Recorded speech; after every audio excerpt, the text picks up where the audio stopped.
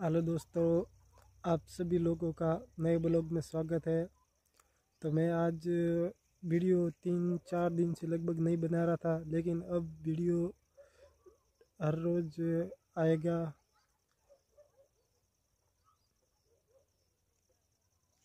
Thank you